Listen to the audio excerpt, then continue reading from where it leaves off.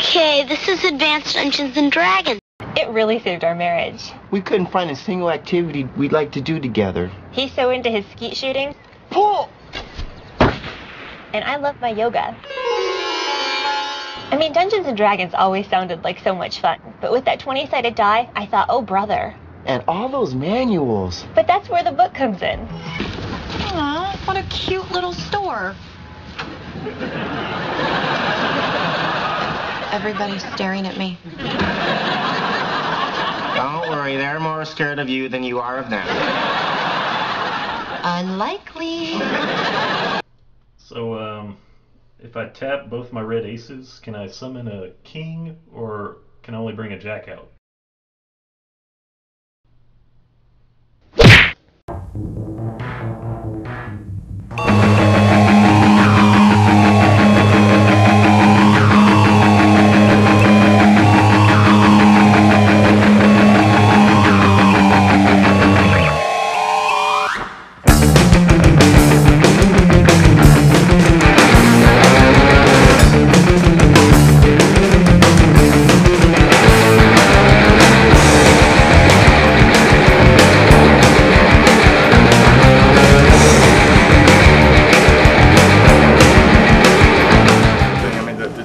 Nerds have inherited the earth. I mean, we run everything now. And, uh, and, uh, and it was very much the case. It's like the, the, the closet Trekkies and, you know, the really diehard Star Wars fans are now, you know, the people in the higher positions or, or that's the person sitting next to you that is completely out in the open about what they enjoy. Uh, it's just that there's much more acceptance now for that uh, than there ever has been in the past.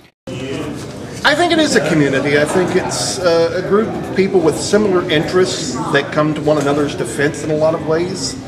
Um, sci-fi and fantasy are somewhat synonymous, and if you're into one, you're generally into the other.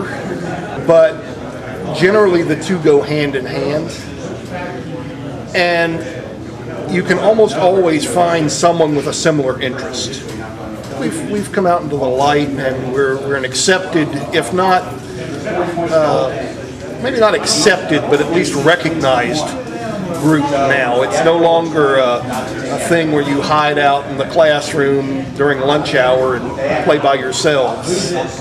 We can be out in the library or the courtyard now. They're nerds, they don't get out a lot. They're lonely, sad, da, da, da, whatever. Uh, I've gotten it all. Um, I mean, I read comic books and I have a girlfriend. I have a, just got a job actually. You know, um, they kind of, you know, they do the, they have the stereotype of the, you know, huge sunglasses, bow tie, standard thing. Um, childish. I get that a lot. I disagree to most of it. Um, but really, fans that I know of, they're all from all ways of life. They're all different types of people. So do you think comic books, sci-fi, gaming, and everything is part of a community? I think, yeah, I believe there is a comic book community, and I'm proud to be part of it. I love it. Okay. So do you think somebody could go to a strange city and go to comics and feel totally at I've home? been to a comic book shop in London and felt at home. The way things seem to be now is um, people who who are geeks or nerds are actually um, cooler. Um, people want to be in, uh, and and the geek culture is an in thing right now. Something I've noticed is people love to come in here and they love to talk about comics. Uh, we don't do any gaming, but people will come in and they can spend a lot of time here just talking about comics, what's out right now, a lot of what's coming out in the future. They like to speculate on what's going to happen. And, and they just want someone to talk to. So um, I'd say a, a lot of my time is talking to people, fostering a community. How excited are you about Captain America? Oh, very, dude.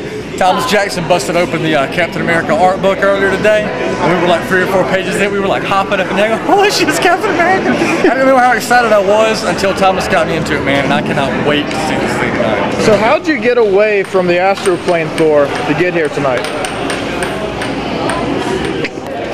What we have here are flyers. we do leaflets, man. Yeah. we flyer the hell out of these uh, these movie premieres. We did Harry Potter last week and uh, Transformers 3. I mean, if it's a, if it's a big movie, we put those out. Get into it. Uh, my name is John Grigsby. I am the game direct op- game operations director for CoastCon Incorporated. Uh, I started playing games, uh, role-playing games, back in 1979. A friend of mine got the basic set at that time, and he asked me to referee the game to be the dungeon master, and that got me started. And since then, I have been a dungeon master. Kind of subgroups or subgenres do you think there are in fandom or fantasy communities? You've got the gamers. You've got the card floppers. Those are the people who enjoy Magic, uh, Yu-Gi-Oh, Pokemon, stuff like that. You've got the fans who just want to view the movies and read the books. They're not interested in playing games. And then you've got the cosplayers, the ones who dress up in costume, come to the conventions and show off their skills, and uh, film themselves on YouTube with broom handles.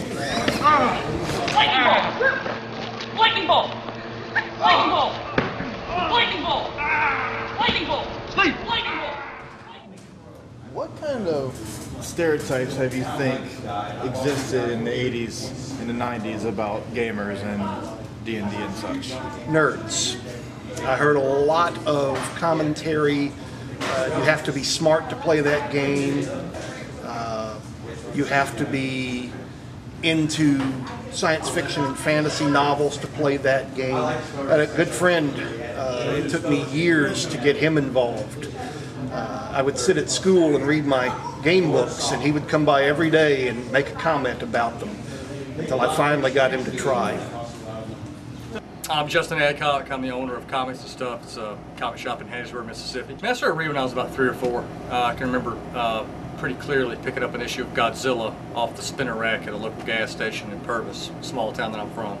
And uh, I didn't start collecting then, but I was definitely interested. I've always drawn, uh, you know, been an artist, and uh, that that also sort of led me back into it. Uh, I became a collector when I was about nine or ten. Stuck with it until the early '90s. The '90s were kind of awful, so I got out for a long time and got back into it, and then got this job, and, and now I'm, you know, How long have you been here? uh, this is our 10th year of business at, uh, at this location. Okay. In the last 10 years, have you seen a surge in, in people who who collect comics, or has it stayed about the same? Have you seen different types of people who like the stuff? I think it's picked up since the first few years. I think we hit a peak around Civil War, which I want to say was, what about 05, 06, somewhere in there. Uh, there was a real, uh, a very obvious uh, increase in, uh, in, in business and orders. Um, but then that we kind of have to weigh that against Katrina as well because uh, in the in the two years after Katrina, those were our best two years because the, the comic shops south of us had gotten wiped out. So we had this huge influx of people from uh, you know Louisiana, uh, even from Alabama, and especially from South Mississippi. So that might have had something to do with it, but I just I can recall during those couple of years that um, uh, just ordering a higher volume of book than, than, than at present. You think the big budget films like Wolverine, X Men, Green Lantern, Thor, Captain America have, and you know the Avengers coming up next year have a, something to do with it? I mean, I, they've definitely increased awareness, but I, I don't really see sales increasing for major properties. Um, the movies that have brought the most people into my store over the last 10 years are independent films that are lesser known. Uh, Sin City, Hellboy, Watchmen, even though it's published by DC, is not as uh, is not a really you know uh, internationally recognized property. Um, those uh, bring people in because it seems interesting and they're curious about it. Whereas with you know Batman, um, uh, the sales may see a slight bump because DC is putting out additional Batman merchandise, but I don't see new people coming in going, hey, I saw Dark Knight, I got to get that comic. I, I don't think that happened a single time. But then with the smaller properties, uh, they do very well, uh, very well with bringing people uh, through those doors. I think the, the fact that most comic shops are independently owned and uh, and they're not, you know, it's not like walking into Walmart where you see familiar signage or people wearing, you know, an outfit that you've seen a hundred times. Uh, or even products that you're really familiar with. When you walk into a comic shop, it's almost like you're walking into someone's like personal space, um, and that can be a good, you know, or bad thing depending on how it's handled. Uh, but around here, I mean, you know, we try to make it, uh, you know, as inviting, as welcoming as possible. And uh, you know, it, it, it helps if you have someone behind the counter that is, uh, you know, outgoing, you know, and friendly, as opposed to someone who's trying to figure out why you're bothering them at this hour of the day. So you know. Such. Uh, my name is Barry Herring, and I'm the owner and manager of Southern Fried Comics. Um, I enjoy comic books. Um, and what got me into comics uh, is my parents owned a grocery store, and when I was a kid, I would just read the comics off the spinner rack. So I would spend all day just reading comics. So that's uh, that's where I got it. See, my name is Matthew Lord, and I've been into gaming, comics, and all things nerdy. My life, actually. I mean, I'm 21 now. Uh, I, first thing I ever remember reading was uh, Garfield comic strips, and uh, once the Spider-Man movie came out when I was a little kid, I remember rushing to the theaters to see that. And I've been reading comic books straight on for about three, maybe four years now, since uh, high school. I really got into them. Doing it. Uh, I'm Sonny. Uh, this is uh, my store, Jack's. We've been in business since uh, 1992. Um, we sell mainly gaming products, uh, board games, card games, miniature games, uh, comic books. Uh, we have a gaming area, about 1,600 square feet that people come and play uh, at their leisure. And we have a you know display area that, that sells most of the products that they're going to use to play with. The store was already open when I took over. Um, I helped uh, a fellow named Jim Whitaker back in 1992. He had mainly sports cards and um, sports memorabilia. In about 93, this game came out called uh, Magic the Gathering. And when it first came out, you know, I was kind of hesitant about playing it. Um, I, I collected Marvel cards and DC cards, the actual collectible cards, but not the gaming cards. So when these came out, I just collected them for the uh, the art, really. And after a while, I had to play them to you know understand why people collected them. And after that, kind of snowballed and became uh, one of the primary sellers of the store, even when Jim still ran it. I took over the business in '96 and started running it since then. Oh, seems like a nice guy. You mean for someone who's into comic books? No, no, no. I just meant for. Yeah. Honey, just because people appreciate comic books doesn't make them weirdos. Stewart's a terrific artist. He went to the Rhode Island School of Design. Okay, what about the guy over there in the superhero t-shirt tucked into his sweatpants? Ah, uh, yeah, that's Captain Sweatpants. He doesn't really help the point I'm trying to make. Got it, got it, got it, got it, got it. Well, everybody has stereotypes, but uh, you're right. Most of the uh, you know stereotypes would be that the gamers are are geeks or 40-year-old virgins or something of that nature. But um, we have a broad spectrum here. You really can't tell. I mean, we have our kids as young as 67 years old collecting comic books, and guys uh, as old as 60s and 70s playing Magic the Gathering and Warhammer 40k. So, really, anything between you, you'll see here. My name is Stephen Barrington. I am the owner of Flea Market Comics, and I've been involved with selling comics since I was in high school. Well, I've been into comics virtually all my life since I was even old enough to pick up a comic and look at the pictures. That was because my uh, father would buy them each week for the family. I come from a big family, uh, 11 brothers and sisters. And to keep keep us occupied during uh, grocery shopping day, which was on Thursday, my father would buy about five of them. And we'd uh, pass them around, read them and such. And then when I got a little bit older, I started reading them and really enjoyed them. It helped me want to read and learn how to read.